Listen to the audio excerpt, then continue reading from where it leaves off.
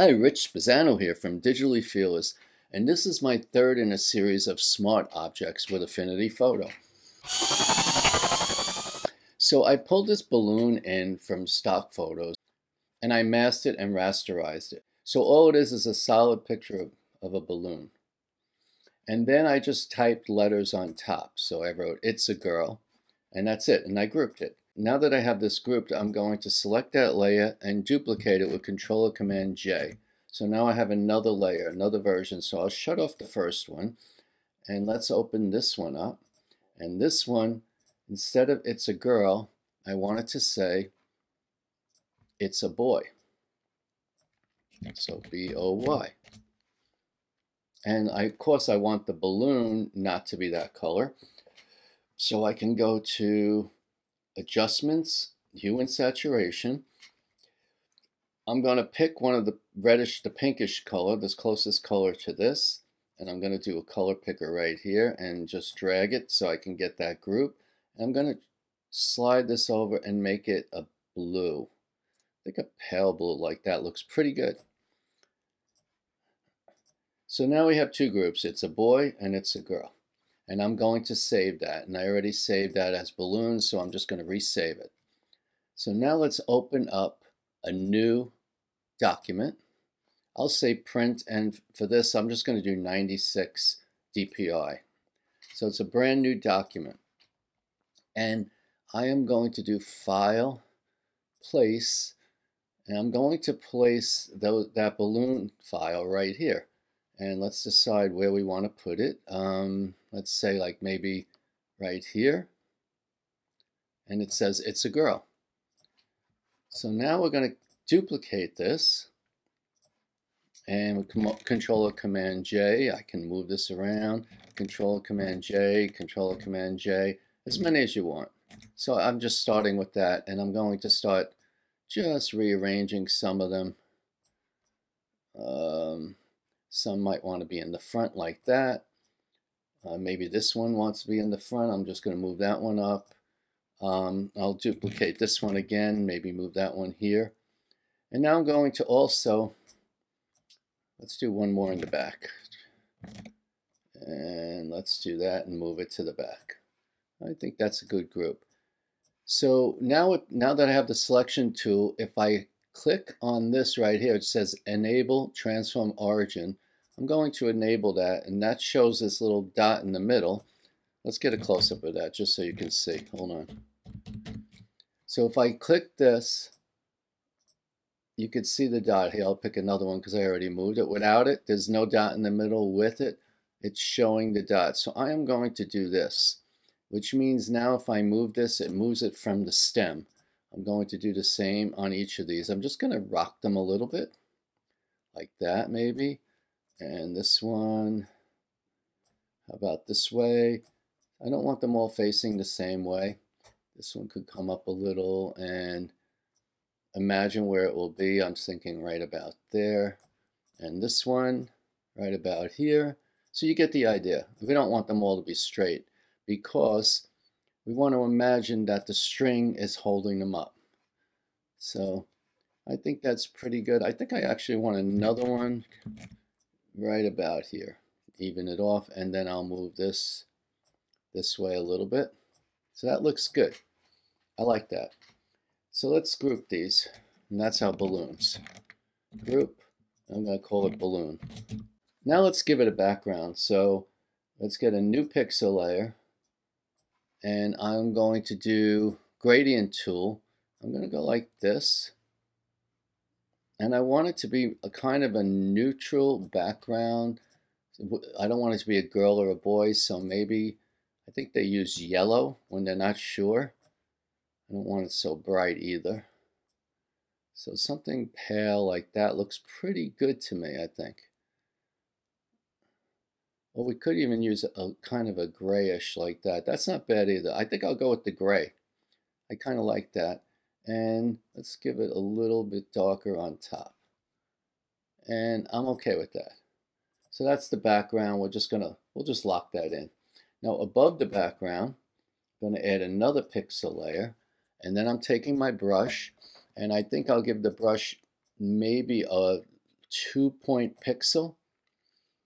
And I think I'll make it fairly hard, um, maybe 72. And I want it to be in white. Now imagine, before we do that, imagine, let's take some guides out here. Hold on. Let's take some guides out. Imagine that the string goes to there. And let's say here. So that's where we're going to try and have all the strings follow. So let's go back to that brush. It's two pixels. I don't know if that's going to be good enough. I'm going to get a close-up right here. And I'm going to click once right where this part of the thing is, and then hold shift and click again. And then click one more time and hold shift and click again. And then we're going to keep doing that. Um, click, hold shift, click, hold shift, click. Click, hold shift, click, hold shift, click. Okay, we're going to do it again. We're going to do click, hold shift, click, hold shift, click. And imagine where this one might be. So click, hold shift, click, hold shift, click. And then this one, click, hold shift, click, hold shift, click. And this one, click, hold shift, click, hold shift, and click. And the last one I think is right about here. Click, hold shift, click, hold shift, and click. And that looks pretty good. So now I want to do one, add one more layer for the knot. And I'm not going to get fancy because this is a quick tutorial. So I'm going to take, once again, I'm going to take that brush and I'm going to make, I'm going to use my right bracket and make it a little bit bigger. And I'm just going to kind of do like an, almost like an a little bit of an X, like something like that. And then now I'm going to take that and do effects. And let's try outer shadow. And just a teeny, just so you can see it. And I would say maybe a little brighter, just like that. I know it doesn't look great now, but it's okay. And then we'll do the same thing with this. We're going to do effects outer shadow. Now, if I was doing this for a client, it would be, I'd be much, much more careful about how to do this, but I'm just trying to get some kind of a look so you can see where the rope is. We're not really doing a shadow, we're just trying to shade it in a little bit just so you can see the edges of the rope like that. And that's good like that, I think. So let's take a look. So let's do this. We have string and then we have knot, K-N-O-T is right there. And this is our background, and that's our balloons. And then last, I think on top, I'm just going to type congratulations. And let's try maybe, I think some kind of a nice script. I think that's okay. You can curve it if you want but I'm just going to kind of keep it straight right now. And I don't know, we can give it an effect if you want. Let's say a bevel and emboss or a 3D. And I don't know. Let's just bevel and emboss it, but just make the make the make it oh not a pillow. I'm sorry. Let's emboss it like that, and just make it a slight embossing, just like that. Okay. Did I spell that? I think I spelled that right. Congratulations. Okay, I hope.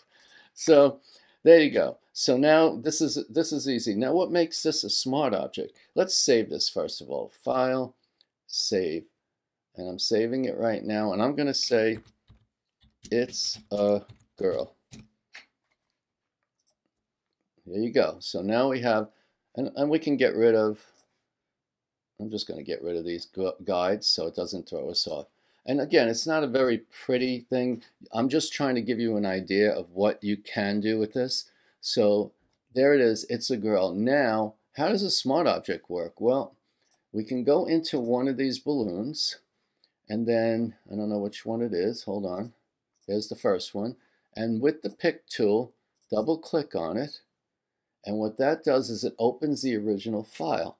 So now if I turn off this one and turn this one on and then do file save, whoops, I don't save. Okay, And that's all I need to do then. And then I go back to it's a girl. It says it's a boy, right? And now go back again. And you have to double click. Don't ask me why. So I don't know if it's a bug, but it works. So what it did now is it changed them all. And let's go back to the full screen. And now it says it's a boy. So that's kind of what a smart object does. You can change this to anything you want. And I want you to check, I want you to notice one more thing. Watch this.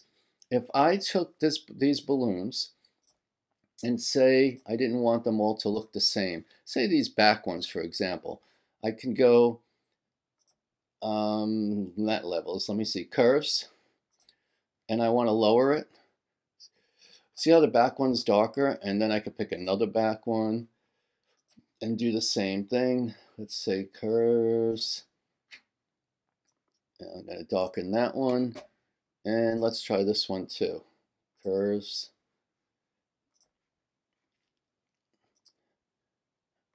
And I don't know, can I do something else crazy? How about this one? Um, let's see, this one, I can give this an outer shadow. I'm, I'm not trying to be accurate here. I'm just trying to show you what I'm talking about. And I'll make the shadow go to the back or something. Something like that. Whoops, wrong way. Hold on. Let's make the shadow. I know this is crazy. This shadow makes absolutely no sense being there, but I'm just trying to show you if there was a shadow there. And then we're done, right? So now if I click on one of these balloons again, double. Now remember, there's different shades. These are darker, these are lighter. So I'll just click on any balloon. Let's do it again. And then turn off it's a boy, turn on it's a girl. And then go back to here. And it says it's a girl. Now let me see what I did wrong last time. If, I'm, if I have that, I think I should be able to just, I don't know, double click on it and then go back. If someone could tell me why this is working, there we go. I had to click on the whole group because it was grouped. So I had to click on the whole group and then and then go back. It brought it full screen. So now it's a girl, but notice this. These, this one is darker than this. This one here. This one still has a shadow and it's a shadow over the pink color as opposed to the blue color. So you can save it anywhere you want. Now this isn't really a beautiful document and I'm not trying to do that. I am trying to just in a very short time show you the things you can do. And this is kind of the way Smart Objects works in Photoshop. It's not 100% the same, but there are things that you can do and it, you don't have to redo a whole document if you want to make some changes like this. Like for example, if you had something you needed to show somebody, a client, and you wanted to show it in different ways, well, you wouldn't have to if this whole thing document had so many different things to it, you wouldn't have to redesign the whole document. You just have to redesign the parts that are in the smart objects.